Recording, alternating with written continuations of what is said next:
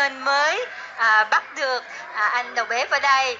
Anh Chiến anh Chiến đã phục vụ cho cộng đoàn là và Đức Mẹ La Vang Las Vegas đã từ rất rất nhiều năm qua. À, Kim Ngân xin được à, có đôi lời để mà hỏi đến anh. À, xin quý vị lắng nghe sau đây. À, chào anh Chiến ạ. À. à, xin anh cho biết là anh à, đã làm việc với cộng đoàn La Vang Las Vegas từ bao lâu? Và năm nay à, đại hội uh, La Vang kỳ 10 công việc chính của anh là đảm nhận những trách công việc gì? Dạ, thưa chị là tôi uh, làm việc được uh, ờ, ở nhà thờ này cũng lâu lắm rồi. Uh, vâng, công việc chính hồi xưa là thường trực ở đây, nhưng mà sau này thì uh, nhà thờ thiếu người uh, phục vụ vấn đề ẩm thực, thành thử đề cử tôi uh, coi vấn đề ẩm thực cho ngày à, cho những ngày đại hội. Chính vì vậy cho nên là tôi mới làm việc trong bếp. Cả từ ngày à, trà trọng tới, tới bây giờ. Vậy là đã mười mấy năm rồi đó. À, cảm ơn anh vì rất nhiều Kim Ngân đón nhận được rất nhiều những à, lời khen ngợi từ khách hành hương về vấn đề thức ăn ẩm thực mà mình đã à, phục vụ cho quý khách ở đây hàng năm. Miễn phí hoàn toàn là free thưa quý vị à, xin anh cho biết à, trước khi đại hội à, à, ban ẩm thực của các anh đã làm những công việc gì và đã bắt đầu từ bao lâu để chuẩn bị cho đại hội như thế này? Dạ, trước khi đại hội thì chúng tôi đã chuẩn bị từ tháng à, 5 ờ, để, tháng 5 để coi những cái menu những gì cần thiết để mua bán sau khi đó chúng tôi sẽ đi order đồ. Và tuần rồi á, thì đi pick up và đồ đi deliver về đây. Thì chúng tôi bắt đầu là chuẩn bị nấu cho 3 ngày. À, nấu như vậy là cái thực phẩm à, à, lên cái menu là anh chọn ra hay là à, mọi anh em cùng hợp với nhau rồi đưa đến? Hay là như thế nào? À, thưa chị cái này là do à, cộng đoàn chọn ra chứ không phải riêng cá nhân tôi. Bởi vì à, công đoàn có nhiều ý kiến hay rất hay. Chính vì vậy lấy ý kiến của công đoàn là tốt nhất. Dạ xin cảm ơn anh. Trong cái quá trình mà làm việc với nhau à, về vấn đề ẩm thực đó thì anh có gặp những cái khó khăn gì có những trở ngại gì không thưa anh cho mọi người được biết? À, thưa chị rằng trong vấn đề ẩm thực thì uh, có nhiều chi tiết mà cái nhân lực của chúng tôi là rất bé.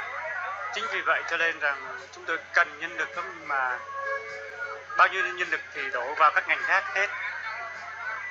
À, vì lý do thế cho nên nhiều cộng đoàn à, khác tới đây giúp. Và anh em cố gắng hết mình để giúp cộng đoàn như vậy. Có khoảng bao nhiêu cộng đoàn khác tới đây giúp thưa anh? Dạ thưa có một hai người ở từ Cali một hai người từ dưới Texas đây. Texas là anh thật là quý. À, giống như là anh Chiến đã thưa và cũng một số các anh khác cũng đã thưa là cộng đoàn của chúng em rất nhỏ bé nhân lực rất hiếm hoi nhưng tinh thần phục vụ rất là cao thưa quý vị.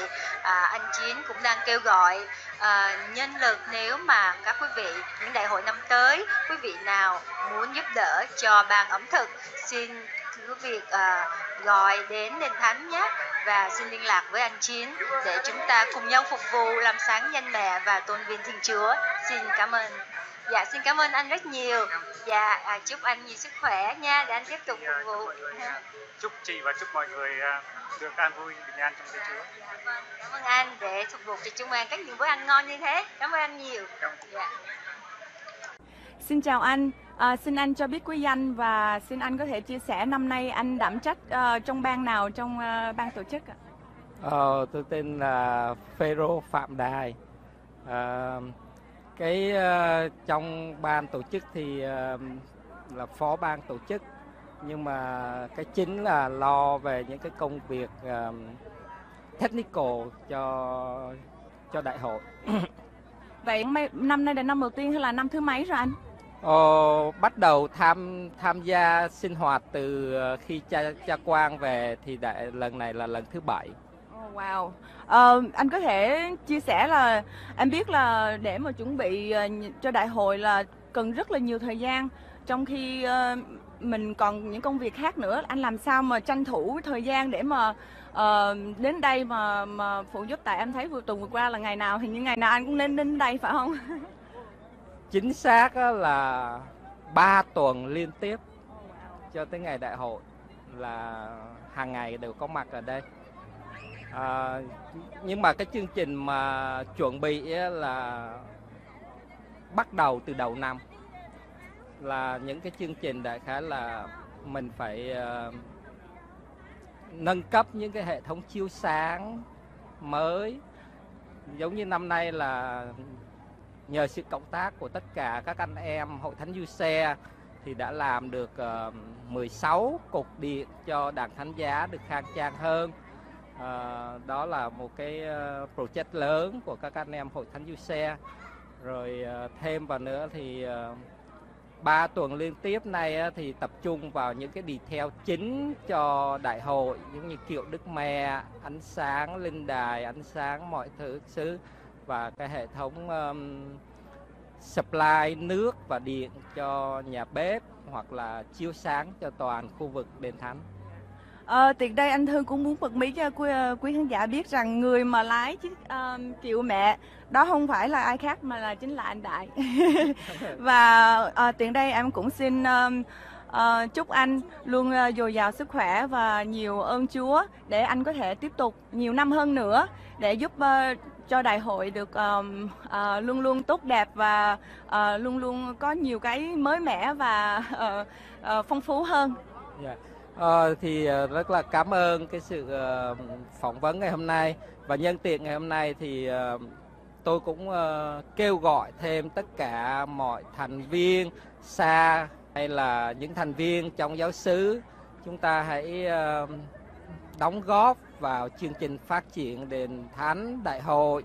Tại vì càng ngày uh, lượng người những con cái mẹ tới đền thánh càng ngày càng đông thì với những cái nhân lực nhỏ nhoi như hiện tại nếu mà tính tương lai thì chúng ta phải cần thêm rất là nhiều nhân lực đóng góp những cái về cái technical để phát triển đền thánh uh, tạo được một cái không khí thoải mái cho tất cả mọi khách hành hương khi tham dự uh, đại hội mẹ lá vàng vào tuần thứ ba của mỗi của tháng 10 hàng năm. Cảm ơn.